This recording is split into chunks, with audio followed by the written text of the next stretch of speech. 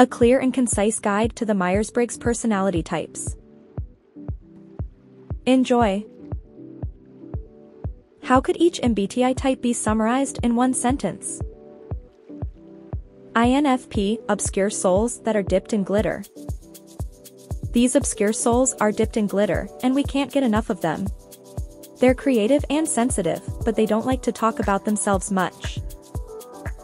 The INFP often feels misunderstood because of their quiet ways, however, if you give them the chance to open up, watch out.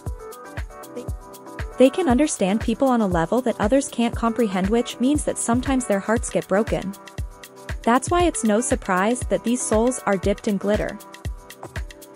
INTP, a Rubik Cube in human form, you never know when they're being geniuses or going crazy. Is your friend an INTP? Or maybe you are one yourself. The INTJ personality type is known for being logical, analytical, and objective thinkers who enjoy the company of a few close friends.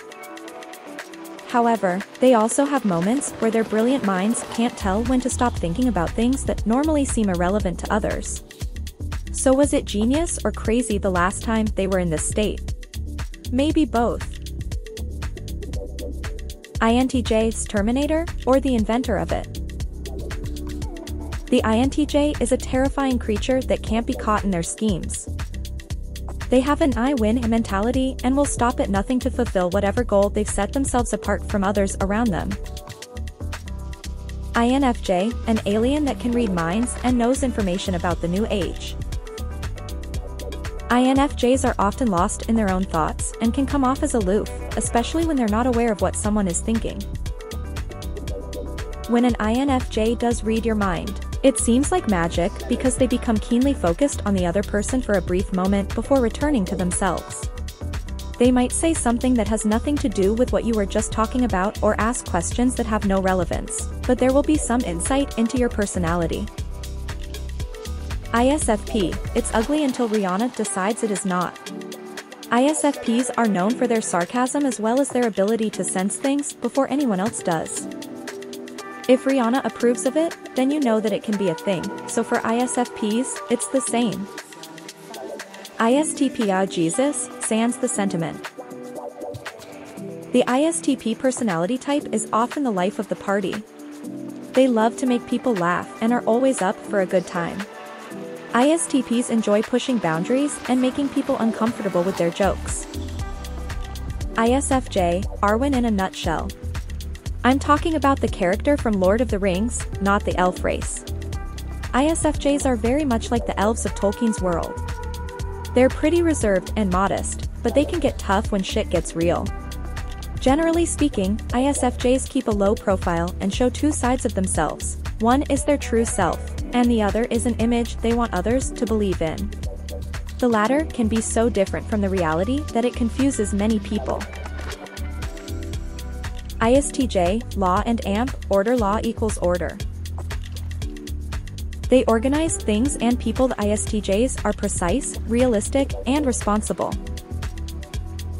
They like to be in charge of an orderly system or organization that they believe in and trust, such as law enforcement. ENFP, Wonderland from Alice in Wonderland. When ENFPs get to know you and discover what you're all about, they become intrigued and want to learn about your passions and interests. They want to submerge themselves in your life and learn how things function. I feel unique when I'm with them because it appears like they genuinely care about me. ENTP, somewhere between Iron Man and the Iron Fist. An ENTP can be incredibly charming and is a master at making people laugh. They know how to inject humor into social situations with their witty one-liners, stories from real life, or impersonations. ESFP, probably your childhood crush or your first car crash. It is hard to decide what you love more about this personality type.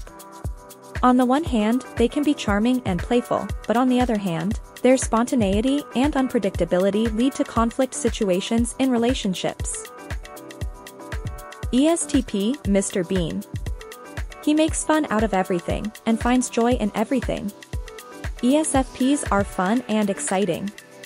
They live in the moment and find pleasure in every moment.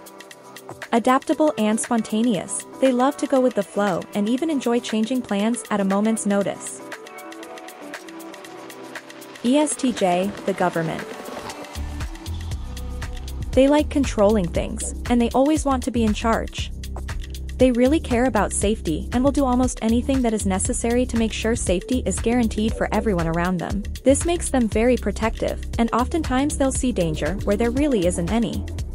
ESTJs take their job seriously and feel a sense of duty and honor. ENFJ, your knight in shining armor. ENFJ is the friend that anyone would be lucky to have in their life. ENFJs are the most loyal of friends, and they will do anything to help you when needed. They are the ones that will be there for you when no one else will. ESFJ, the cake queen. ESFJ have a very real and powerful desire to make sure everyone in their circle of family and friends is taken care of.